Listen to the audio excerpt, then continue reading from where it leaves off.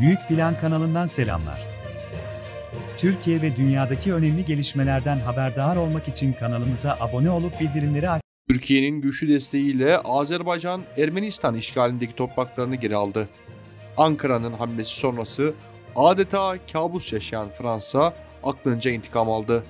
İşte Paris yönetiminden komedi tiyatrosu şu şekilde. Türkiye'nin Azerbaycan'a desteğini hazmedemeyen Fransa'da Savunma Bakanı Sebastian Lecornu, Ermenistan'ın Paris Büyükelçisi Hasmik Tolmajyan'a ülkesinin Milli Savunma Madalyasını takdim ettiğini bildirdi. Lecornu X hesabından yaptığı açıklamada Ermenistan ve Fransa uzun süreli ortak bir tarihle birbirine bağlı ve birlikte güçlü bir savunma ilişkisi inşa ediyoruz ifadelerini kullandı. Sebastian Lecornu, Tolmajyan'a Fransa'da yaptığı büyükelçilik görevi için Milli Savunma Madalyası takdim ettiğini duyurdu.